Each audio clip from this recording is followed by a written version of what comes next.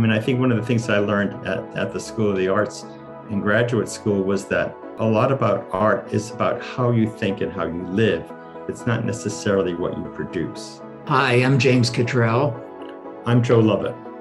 You know, New York downtown, the downtown scene in the 80s, art was everywhere.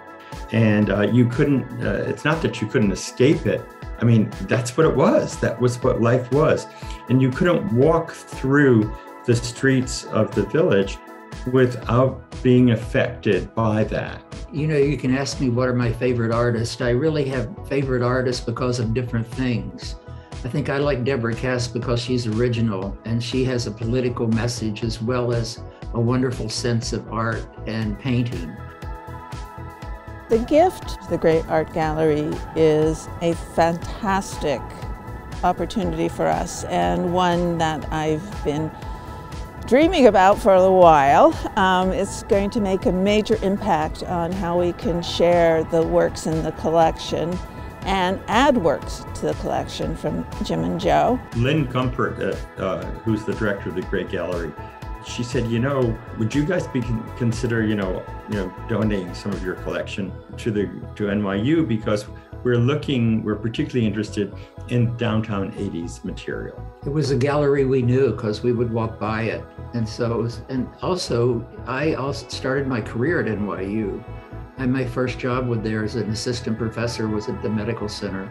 So NYU has a place in my heart. With the Cottrell Lovett gift, uh, we will be able to construct a dedicated study center, the Cottrell Lovett Study Center, which will allow us to hold classes at the museum to be able to share works from the collection with the community and that's been a lifelong dream of mine. We can do cross-discipline work. We can uh, have exhibits that relate to LGBTQ issues, disability issues, science issues.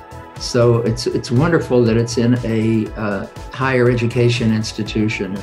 So this gift will also have an enormous impact on the university community. One, it demonstrates NYU's commitment to giving back to the Greenwich Village community and the Grey Art Gallery at NYU is one way that we've been doing that already and this just increases our ability. I think I'm just so pleased that, you know, we uh, made our first donation of artworks. Uh, we're, we're, I think it's almost 50 pieces and it was so great to see them leave and to be taken to NYU's because now they'll be seen, talked about, and it really makes me feel good about our legacy and with NYU.